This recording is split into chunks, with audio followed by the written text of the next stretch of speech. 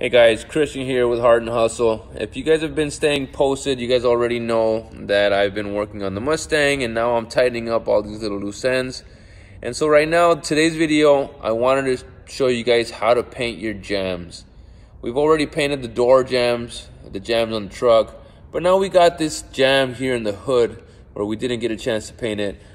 We oversprayed it with the gray, not a big deal. We can come back and take care of that but I wanted to show you guys the process that we're gonna do to kind of paint in the jambs. So I wanted to show you guys that, where the jambs are, and then that's actually gonna be the color, which is that really nice Eleanor gray from Gone in 60 Seconds. And so that's what it looks like right now. And I'll show you guys here on this side. We've already gone ahead and sanded this side. So we've sanded it down and I know that that area as well is going to be painted the same color as the exterior, but I do want the engine bay to be a semi-gloss black. I'm even thinking now that I see it, I may go into a high gloss black just to really like, whoa, when you pop the hood open. But for now, we're going to focus on the jambs. Again, I wanted to show you guys right now, they're all primered out. I forgot to, I forgot to well, I didn't forget. It's just part of the process. I've already, let me open the door here for you guys. I've already painted the door jambs on the inside. Obviously, you can see the Ford, original Ford. Got a little more detail work in there. But these are already painted.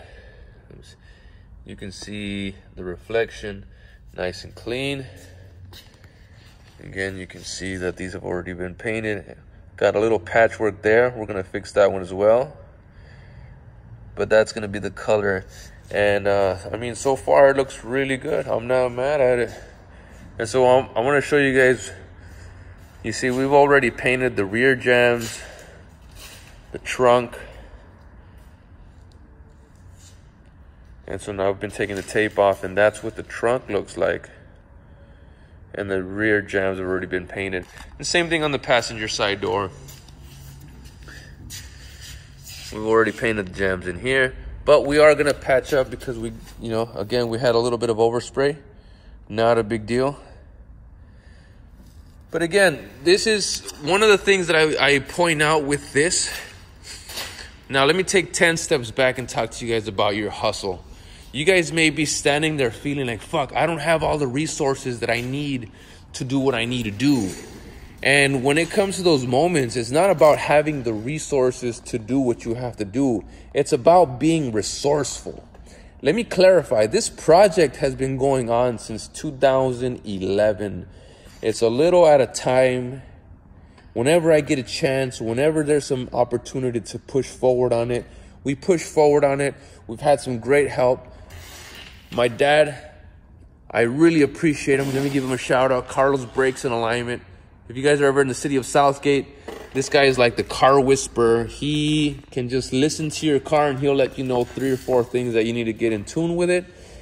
Him, I want to say shout out to Customs by Lopez and several many other people, and I'll tag them in the links below. But really, they were the ones that have helped me out tons, little by little, transmission, engine, interior, engine bay, trunk, floor panels, headrests, upholstery, headliner, dash, stereo, wheels, paint, body. It's been a lot of work. But again, you do little by little and you keep chipping forward.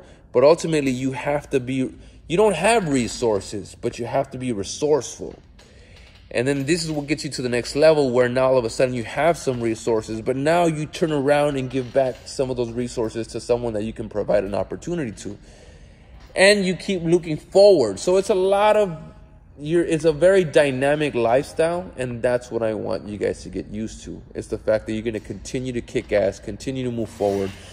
And ultimately again, this whole video is just based off the jambs. To me it's very important that when someone pops the hood and they look inside and they say, damn, whoever did this car has a lot of passion for what they're doing. And that's what I want them to say about you guys.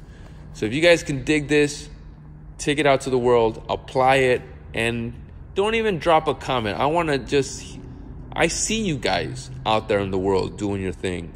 So let's keep kicking ass, and I'll see you guys at the very, very top. If you dig this, huge favor, smash that like button. If you really dig it, smash that subscribe, hit the little bell so you'll be notified. And then also, if you know other people that are interested in this type of conversation, this type of hustle, chasing your dreams, crafting your life, doing what the fuck you gotta do, do me a favor, share it with them.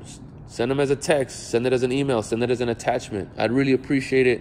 We're out here kicking ass and uh, a day at a time, and we'll continue to kick ass. And I'll see you guys at the very, very top. All right? I'll see you guys later. Peace.